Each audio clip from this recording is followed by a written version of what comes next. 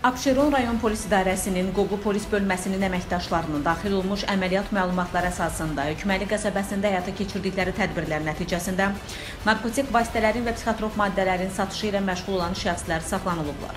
Əməliyyat zamanı həmin qəsəbədə yaşayan Ramin Qasımov və əvvəllər məhkum olunmuş Rafael Şükürov tutularaq istintaqa təqdim ediliblər.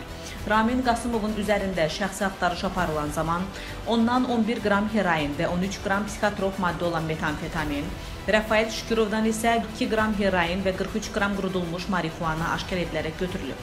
Hər iki şəxs ifadələrində Hükməli qəsəbəsi və ətraf ərazilərdə narkotik vasitələrin satışı ilə məşğul olduqlarını etiraf ediblər.